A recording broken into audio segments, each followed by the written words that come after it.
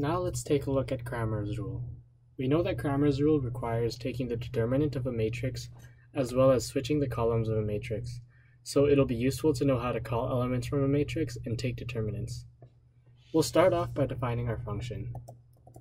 We'll call it Cramer. We need to input a matrix A and a vector of the right hand side B.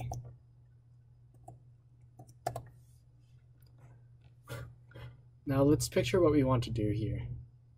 We'll need to switch the columns of A depending on how long the matrix is. So we'll need the length of A in our function.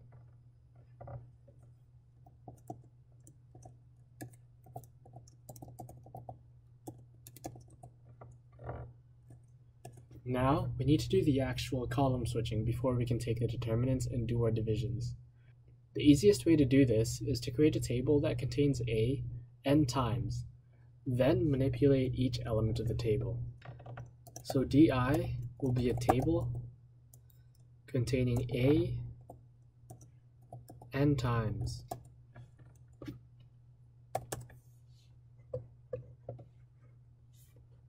Now that we have our table of A's, we can go ahead and start switching the columns of the A's with our B vector. To do this, we'll use the do loop we learned earlier because we need to repeat the process n times. So now do. Now let's look at di.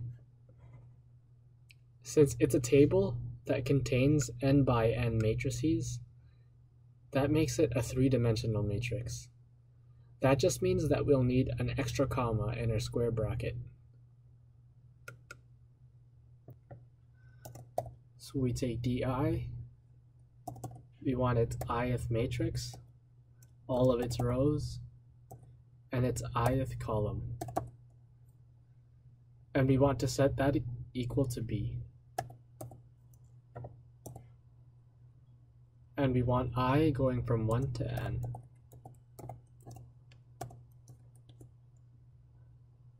Okay, now that we have a table of matrices with some of the columns switched with B, we can go ahead and take the determinants of matrices in DI and divide them by the determinant A.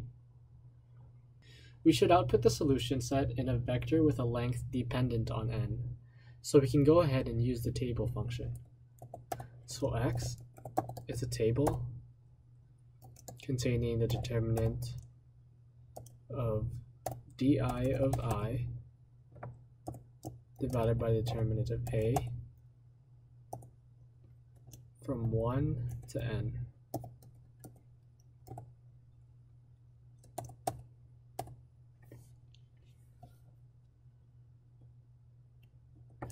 Close that bracket.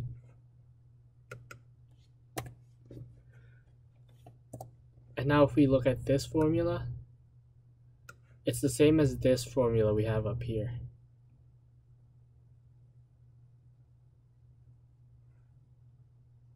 Except I'll go ahead and capitalize this A.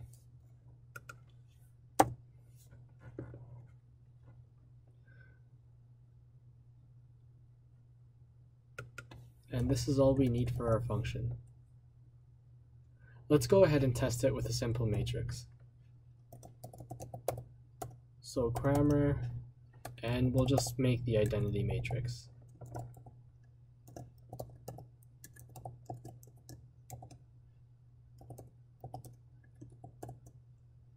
And then our solution set will just be 1, 2, and 3.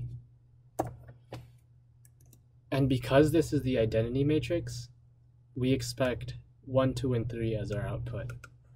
Now let's see if that works. And indeed it did.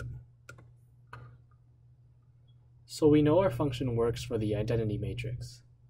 It's important to note that the function we defined here doesn't work when the determinant of A is 0. So we can improve it by checking if the determinant of A is 0, printing an error message if it is, and then proceeding if it isn't. In the next part of the tutorial, we'll take a look at programming a function that performs Gauss elimination.